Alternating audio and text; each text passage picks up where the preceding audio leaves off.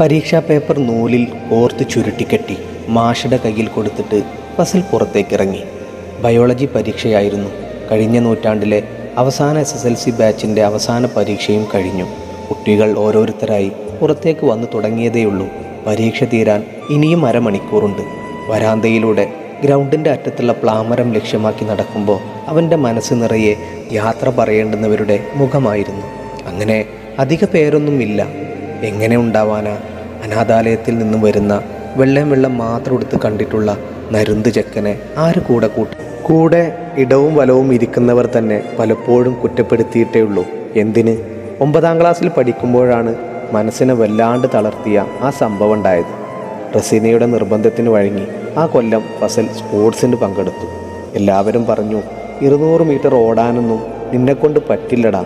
അതും ഈ ചരൽ മാത്രമുള്ള ഗ്രൗണ്ടിൽ ഷൂ ഒന്നും ഇടാതെ നീ എങ്ങനെ ഓടും? കുറ്റപ്പെടുത്താനും പിന്തിരിപ്പിക്കാനും ആയിരുന്നു കൂടുതൽ കുട്ടികൾക്ക് ഇഷ്ടം. പക്ഷേ റസീന അവനെ നിർബന്ധിച്ചു. ഫസലെ നീ ഓടണം. ഒരു ഷൂ അല്ലേ? അത് ഞാൻ എങ്ങനെങ്കിലും ഒപ്പിച്ചു തരാം.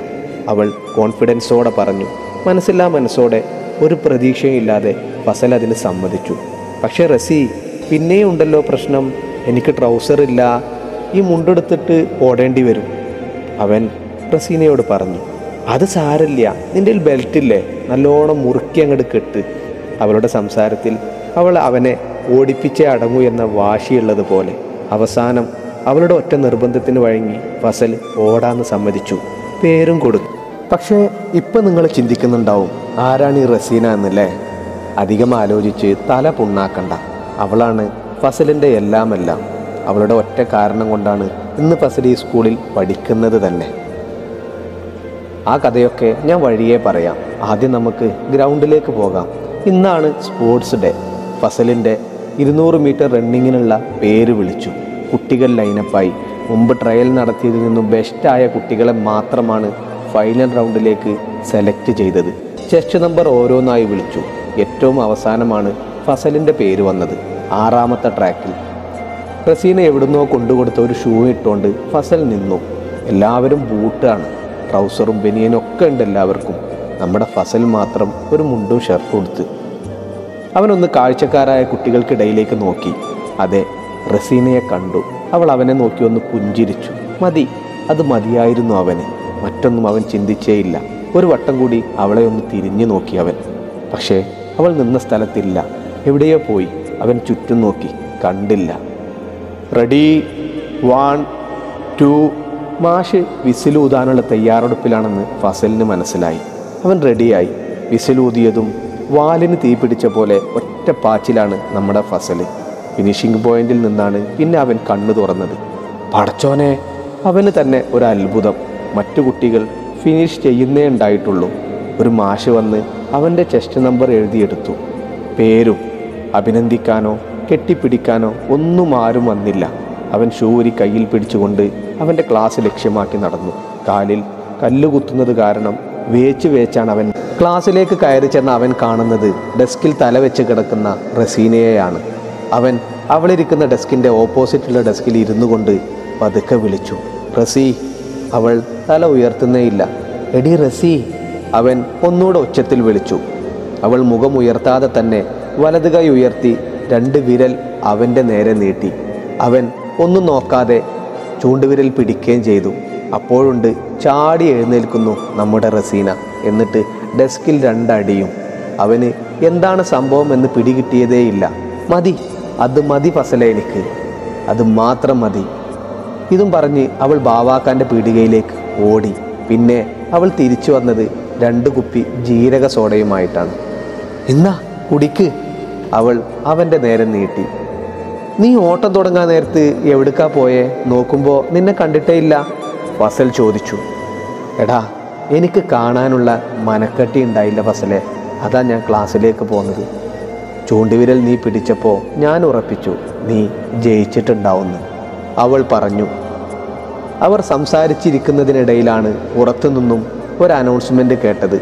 Two hundred metre running winners please come to presentation desk Fazal Rahman ninth E Shafeeq ninth A and Khader tenth C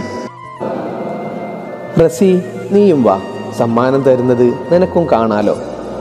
അവൻ അവളെയും കൂട്ടിയാണ് ഡെസ്കിന്റെ അടുത്തേക്ക് പോയത്. പ്രസന്റേഷൻ ഡെസ്കിൽ കയറി നിന്നു.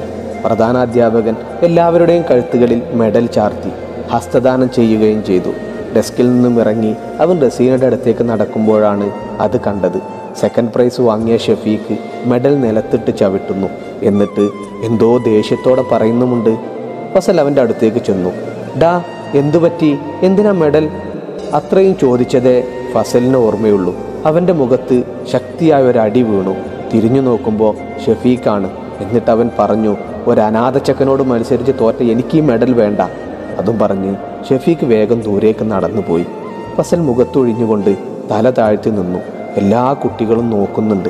അവനാകെ നാണക്കേടായി കണ്ണിൽ നിന്നും കണ്ണുനീർ തുള്ളികൾ ഒഴുകാൻ തുടങ്ങി. റസീന അവന്റെ അടുത്തേക്ക് ഓടി വന്ന് മുഖമൊന്ന് ഉയർത്തിയിട്ട് ചോദിച്ചു എന്തിനാ അവൻ തല്ലിയെ? ഫസൽ ഒന്നും മിണ്ടിയില്ല. അവന് കരച്ചിലടക്കാനായില്ല. ചുറ്റും കുട്ടികൾ അവന്റെ ദയനീയ അവസ്ഥ കണ്ട് സങ്കടപ്പെട്ട് നിൽക്കുകയാണ്. അത്രയും കുട്ടികളുടെ മുമ്പിൽ വെച്ച് അനാഥനെന്ന് വിളിച്ചത് ഫസലിന് ഒരുപാട് വിഷമായി. തന്റെ ജീവിതത്തിൽ ആദ്യമായാണ് ഇങ്ങനൊരു അനുഭവം ടാ ഫസലെ വാ ക്ലാസ്സിൽ പോകാം. റസീന അവനെ പിടിച്ച് ക്ലാസ്സിലേക്ക് പോയി. അപ്പോഴുണ്ട് ഒരു കുട്ടി ഓടി വന്ന് റസീനയോട് പറഞ്ഞു അവനെ അവനെ ഞാൻ പ്രിൻസിപ്പലിനോട് കൊണ്ട് പൊക്കിച്ചു. ഞാൻ പോയിട്ട് കംപ്ലൈന്റ് ചെയ്തു. ആ കുട്ടി പറഞ്ഞു ടാ ഫസലെ നീ കരയല്ലേ? അവന് പ്രിൻസി പൊക്കിന്ന്. അവൻ അതൊന്നും കേട്ടതേയില്ല. ഡെസ്കിൽ തലവെച്ച് കുറേ നേരം അങ്ങനെ കിടന്നു. കരച്ചിലൊക്കെ ഒന്ന് അടങ്ങിയപ്പോൾ അവൻ പതിയെ തല ഒന്ന് ഉയർത്തി നോക്കി. എന്നിട്ട് റസീനയോട് പറഞ്ഞു റസി ഇനി ഇവിടെ പഠിക്കണില്ല. എനിക്ക് വയ്യ. എല്ലാവരുടെയും മുമ്പിൽ വെച്ച് അവനിങ്ങനെ മുഖത്ത് നോക്കി തന്തയില്ലാത്തവനെന്ന് വിളിക്കുന്നത് പോലെയല്ലേ? മടുത്തു. വയ്യ. അവൻ തീരെ ശബ്ദം താഴ്ത്തിയാണ് അത് പറഞ്ഞത്. പെട്ടെന്നാണ് ഓടി വന്ന ആ കുട്ടി അവരോട് പറഞ്ഞത്. ഹായ് ഞാൻ ഹസനത്ത്. ഒമ്പത് ഡിയിലാണ്. നിങ്ങളുടെ ഗ്യാങ്ങിൽ എന്നെയും കൂടി ചേർക്കുമോ റസീന അവനെ നോക്കി പറഞ്ഞു. നോക്ക് ഫസലെ നിന്റെയൊപ്പം എല്ലാവരും ഉണ്ട്. നീ എന്തിനാ പോണേ? പോണേൽ അവൻ പോട്ടെ. റസീന അവനെ സമാധാനിപ്പിച്ചു.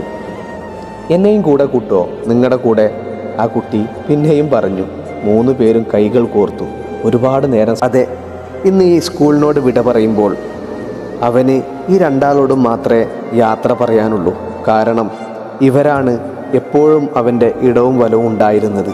എല്ലാ സങ്കടത്തിലും എല്ലാ സന്തോഷത്തിലും ഇവർ മാത്രമേ കൂടെ ഉണ്ടായിട്ടുള്ളൂ. ഹസനത്ത് വന്ന വഴി നിങ്ങൾക്ക് മനസ്സിലായില്ലേ? ഇനി റസീനയാണ് അവളെ അവൻ ആദ്യമായിട്ട് കാണുന്നത് എട്ടാം ക്ലാസ്സിലേക്ക് ആദ്യമായിട്ട് വരുന്ന ദിവസമാണ്. റസീന അവിടെ അന്ന് രണ്ടാം വർഷമായിരുന്നു എട്ടാം ക്ലാസ്സിൽ തോറ്റത് അവൾ മാത്രം. സുന്ദരിയാണ് വെളുത്ത് ഉരുണ്ട മുഖമുള്ള ഒരു ഉമ്മച്ചിക്കുട്ടി. ആരും അവളോട് മിണ്ടാറില്ല. തോറ്റ കുട്ടിയായത് കൊണ്ടാവാം. അവളും തന്നെ ക്ലാസ്സിൽ വന്നാൽ എപ്പോഴും അവളുടെ കാര്യങ്ങൾ മാത്രം നോക്കി അതേ സീറ്റിൽ തല താഴ്ത്തിയിരിക്കും. ഒന്ന് തിരിഞ്ഞു നോക്കുകയോ ചിരിക്കുകയോ ഒന്നും ഇതുവരെ കണ്ടിട്ടില്ല. അങ്ങനെ ഇരിക്കെയാണ് ഒരു ബുധനാഴ്ച പി ടി പീരീഡിന്റെ ദിവസം. കുട്ടികളെല്ലാം ഗ്രൗണ്ടിൽ കളിക്കുകയാണ്. ഒന്ന് രണ്ട് പെൺകുട്ടികൾ മാത്രം ക്ലാസ്സിലുണ്ട്. അവൻ ഒരാണും. ഒറ്റക്കായതുകൊണ്ട് അവൻ പുറത്ത് വരാന്തയിൽ ഇറങ്ങി നിന്നു. രണ്ടാം നിലയിലാണ് അവരുടെ ക്ലാസ്. താഴെ കുട്ടികൾ കളിക്കുന്നത് നോക്കി അവൻ അങ്ങനെ നിന്നു. പെട്ടെന്നാണ് കോണിപ്പടിയുടെ അവിടെ നിന്നും എന്തോ വീഴുന്നത് പോലെ ഒരു ശബ്ദം അവൻ കേട്ടത്. ഓടിച്ചെന്ന് നോക്കുമ്പോൾ നമ്മുടെ റസീനയാണ്. കുറേ നെല്ലിക്കച്ചാറും മിഠായികളും അങ്ങിങ്ങായി ചിതറിക്കിടക്കുന്നു. തടി കാരണം അവൾക്ക് സ്വയം എഴുന്നേൽക്കാൻ കഴിയില്ല എന്നവന് തോന്നി. ചുറ്റുമൊന്ന് നോക്കി വലത് കൈ അവൾക്ക് നേരെ നീട്ടി അവൻ ആരുമില്ല വേഗം പിടിച്ചെഴുന്നേറ്റോ അവൻ അവളോട് പറഞ്ഞു. അവൾ മുഖം താഴ്ത്തി അവന്റെ കയ്യിൽ പിടിച്ചു. എഴുന്നേറ്റ ഉടനെ ക്ലാസ്സിലേക്ക് ഒരൊറ്റ ഓട്ടം. അവൻ ആ മിഠായികൾ മുഴുവൻ പെറുക്കിയെടുത്ത് അവൾക്ക് മുന്നിലെ ഡെസ്കിൽ കൊണ്ടുവച്ചു. എന്നിട്ട് പറഞ്ഞു ഭാഗ്യം ആരും കണ്ടില്ല. അവൻ തിരികെ അവന്റെ ബെഞ്ചിൽ പോയിരുന്നു. എന്നിട്ട് പതിയെ ഇടം കണ്ടിട്ട് അവളെ ഒന്ന് നോക്കി. ഹാവു ആദ്യമായി ആ മൊഞ്ചത്തിയുടെ ചിരി ഒന്ന് കാണാൻ കഴിഞ്ഞല്ലോ. അവൾ ആ മിഠായിൽ നിന്ന് കുറച്ച് അവന്റെ മുമ്പിൽ കൊണ്ടുവച്ചു. ആരോടും പറയരുത് കേട്ടോ ഫസലെ. അതും പറഞ്ഞ് അവൾ പോയി. ആ പാരിതോഷികങ്ങൾ തരൽ പിന്നീട് നിന്നിട്ടേയില്ല. അവൾ അവന്റെ ഉറ്റ ചങ്ങാതിയായി എപ്പോഴും കൂടെ ഉണ്ടാകും. വീട്ടിൽ നിന്ന് കൊണ്ടുവരുന്ന എന്തും പാതി അവന് കൊടുക്കും. ആദ്യമായി അവനെ പാന്റ് ഉടുപ്പിച്ചത് അവളാണ്. ആദ്യമായി അവനൊരു ബാഗ് കൊടുത്തതും അവളാണ്. അവൻ ആ സൗഹൃദം പത്താം ക്ലാസ് കഴിയുന്നതുവരെ ഉണ്ടാവണമെന്ന് ആഗ്രഹിച്ചു. നിർഭാഗ്യവശാൽ എക്സാമിന്റെ ഒരു മാസം മുമ്പ് അവളുടെ ഉപ്പ അവൾ ടി സി വാങ്ങി കൊണ്ടുപോയി. ഏതോ ഗൾഫുകാരന്റെ മണിയറയിൽ പി വി ആയി ഇരിപ്പുണ്ടാവും. അങ്ങനെയാണ് റസീനയും ഹസനത്തും ഫസലിന്റെ ലൈഫിലേക്ക് കടന്നു വരുന്നത് അങ്ങനെ ഓരോന്ന് ഓർത്തുകൊണ്ട് പ്ലാമരത്തിന്റെ ചോട്ടിൽ നിൽക്കുമ്പോഴാണ് പുറകിൽ നിന്നും ഒരു വിളി കേട്ടത്. റസീന അതെ അതങ്ങനെയാണ്. ഏതെങ്കിലും പെൺകുട്ടികളുടെ പേര് ചേർത്ത് ആൺകുട്ടികളെയും ആൺകുട്ടികളുടെ പേര് ചേർത്ത് പെൺകുട്ടികളെയും വിളിച്ചിരുന്നൊരു സ്വഭാവം അന്ന് സ്കൂളുകളിലൊക്കെ ഉണ്ടായിരുന്നു. തിരിഞ്ഞു നോക്കുമ്പോൾ ഹസനത്താണ്. അവളൊരു ബുക്ക് അവന്റെ നേരെ നീട്ടിയിട്ട് പറഞ്ഞു ടാ ഇതിലെന്തെങ്കിലും ഒന്ന് എഴുതാമോ? ഹസനത്തെ നിനക്കറിയാലോ ഞാൻ ആർക്കും ഓട്ടോഗ്രാഫ് എഴുതിയിട്ടുമില്ല. ഞാൻ ഓട്ടോഗ്രാഫ് വാങ്ങിയിട്ടുമില്ല. പിന്നെ എങ്ങനാ എടാ ഇത് ഓട്ടോഗ്രാഫ് ഒന്നുമല്ല. എന്റെ ഓർമ്മയിൽ സൂക്ഷിക്കാൻ ഇപ്പോൾ ബാവാക്കന്റെ കടയിൽ നിന്നും വാങ്ങിയതാ. എന്തെങ്കിലും എഴുത് നോട്ട് ബുക്കല്ലേ അവൻ ആ നോട്ട് വാങ്ങി ആദ്യ പേജ് തുറന്നപ്പോഴേ കണ്ടു. അതിലെഴുതിയത് അടുത്തുണ്ടായിട്ടും അറിയാതെ പോയ ഉറ്റ സുഹൃത്തിന്റെ ഓർമ്മക്കായി. അവൻ അവളെ ഒന്ന് നോക്കി. അവൾ തല താഴ്ത്തി നിൽക്കുകയാണ്. ഡി അവനൊന്ന് വിളിച്ചു. ഡി ഹസന അവൾ നോക്കാതായപ്പോൾ ഒന്നുകൂടെ വിളിച്ചു. ഇതിൽ എഴുതിയത് നിനക്കെന്നെ ഇഷ്ടമായിരുന്നോ അവൻ ചോദിച്ചു. അവളൊന്നും മിണ്ടിയില്ല. തല താഴ്ത്തി തന്നെ നിന്നു. അവൻ അവളുടെ മുമ്പിലേക്ക് നീങ്ങി നിന്നുകൊണ്ട് ചോദിച്ചു. എടി ഹസനത്തെ നിനക്ക് എന്നെ ഇഷ്ടമായിരുന്നോ എന്ന്? എന്നിട്ടെന്തേ? മുമ്പൊന്നും പറഞ്ഞേയില്ല. അതിന് നീ റസീനാന്റെ മുഖത്തുനിന്ന് കണ്ണെടുത്തിട്ട് ഞങ്ങളെയൊക്കെ ഒന്ന് നോക്കിയിട്ട് വേണ്ടേ? എന്നാലല്ലേ ഞങ്ങൾക്ക് എന്തെങ്കിലും പറയാനുണ്ടോ എന്ന് അറിയാൻ പറ്റൂ? അവൾ ഇച്ചിരി ദേഷ്യത്തോടെയാണ് അത് പറഞ്ഞത്.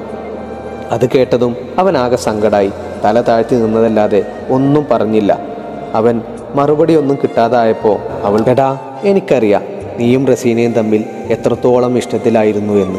നിന്റെ മുഖത്തൊരാൾ നോക്കുന്നത് പോലും അവൾക്ക് ഇഷ്ടമല്ലായിരുന്നു. നിന്നെ ആർക്കാടാ ഇഷ്ടമല്ലാണ്ടിരിക്കുക? നീ മൊഞ്ചനല്ലേ? അതൊക്കെ വിട്. നീ വാ. നമുക്കേ സലീമാഷോട് യാത്ര പറഞ്ഞിട്ട് വരാം. അവന്റെ കൈ പിടിച്ച് വലിച്ച് സ്റ്റാഫ് റൂമിലേക്ക് നടക്കുമ്പോൾ അവളുടെ മുഖത്തേക്ക് തന്നെ നോക്കി അവൻ. ഉള്ളിൽ ഒളിപ്പിച്ചു വെച്ച സ്നേഹത്തിന്റെ വലിയൊരു കൂമ്പാരം തന്നെ അവൾക്കുള്ളിലിരുന്ന് എരിയുന്നുണ്ടെന്ന് അവന് തോന്നി. ഒരിക്കൽ പോലും അങ്ങനെയൊരു പെരുമാറ്റം അവളുടെ അടുത്തുനിന്ന് ഉണ്ടായിട്ടുമില്ല. ചിലപ്പോൾ റസീന കൂടെ കൂടെയുള്ളത് കൊണ്ടാവാം പറയാഞ്ഞത്. അതെങ്ങനെയാ? മറ്റൊരാളും അവനോട് സംസാരിക്കുന്നത് പോലും റസീനാക്ക് ഇഷ്ടമല്ല. എപ്പോഴും കൂടെ ഉണ്ടാവും ഒരു വാലായിട്ട്. പിന്നീട് ഇവൾ അവർക്കിടയിലേക്ക് വന്നപ്പോഴും അതിനൊരു മാറ്റവും ഉണ്ടായിട്ടില്ല. ഇവൾ കൂടെയുണ്ടെന്ന് പോലും നോക്കാതെ എന്തൊക്കെയോ പറയും. ചിക്കൻ ബോക്സ് വന്നപ്പോൾ മുടങ്ങിയ ക്ലാസ്സിലെ നോട്ട്സ് മുഴുവൻ ഒറ്റയ്ക്ക് എഴുതി തന്നവളാണ് റസീന. ഇന്ത്യ പാകിസ്ഥാന്റെ മാച്ചിന്റെ അന്ന് അവന്റെ ബുക്ക് മുഴുവൻ സ്വന്തം വീട്ടിലേക്ക് കൊണ്ടുപോയതും വീട്ടുകാർ കയ്യോടെ പിടിച്ചതും ഈ അടുത്ത കാലം വരെ പറഞ്ഞ് ഒരുപാട് ചിരിച്ചിട്ടുണ്ട്. അങ്ങനെ കൂടെ നടന്ന് സ്നേഹിക്കാൻ ഒരു ഒരാളുണ്ടാവുമ്പോൾ ആരാ മറ്റൊന്നിനെ പറ്റി ചിന്തിക്കുക? പക്ഷേ ഇപ്പോൾ ക്ലാസ് തീർന്നു പോകുമ്പോൾ ഒന്ന് യാത്ര പറയാൻ പോലും കൂടെ ഇല്ലല്ലോ എന്ന് ഓർത്തപ്പോൾ അവന് വല്ലാത്തൊരു സങ്കടം. സലീമാഷോട് യാത്ര പറഞ്ഞ് തിരിച്ച് പ്ലാമരത്തിന്റെ ചോട്ടിലേക്ക് തന്നെ നടക്കുമ്പോൾ അവൻ അസുനത്തിനോട് ചോദിച്ചു ടീ എന്നോട് ദേഷ്യമാണോ ഹേയ് എന്തിന്? എനിക്ക് ആരോടും ദേഷ്യമൊന്നുമില്ല. അതിന് ദേഷ്യപ്പെടാൻ നീ എന്നോട് ദ്രോഹമൊന്നും ചെയ്തിട്ടില്ലല്ലോ. അവൻ തല താഴ്ത്തിയാണ് അത് കേട്ടത്. അവനറിയാം ഇവൾക്ക് ഉള്ളിൽ നല്ലോണം സങ്കടം ഉണ്ടെന്ന് എന്ത് ചെയ്യാൻ? അറിയാൻ കഴിഞ്ഞില്ലല്ലോ. അവനും സങ്കടം തോന്നി. ഗ്രൗണ്ടിൽ കുട്ടികൾ ചോദ്യക്കടലാസുകൾ കീറി കാറ്റിൽ പറത്തുകയും കിൽറ്റ് പൊടികൾ മുഖത്തേക്ക് വാരി വിതറുകയും ഒക്കെ ചെയ്യുന്നുണ്ട്. കുറേ നേരം മുഖം നോക്കാതെ ഒന്നും സംസാരിക്കാതെ നിന്നു രണ്ടാളും. അവൾ തന്ന പുസ്തകത്തിൽ അവൻ എഴുതി ഇനി ഒരിക്കലും കാണില്ല എന്നറിയാമെങ്കിലും വൈകിയാണ് വന്നതെങ്കിലും കൂടെ ഉണ്ടാകും എന്നും ഓർമ്മകൾ മായാതെ മങ്ങാതെ ബൈ.